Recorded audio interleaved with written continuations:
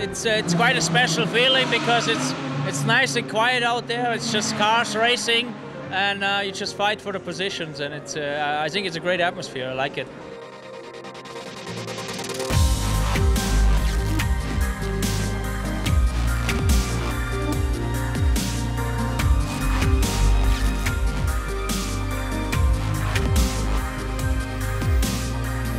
It's always nice to be in Spa at night. You cannot see everything, but uh, normally the lights, what we have now in the GT3 cars, are pretty good.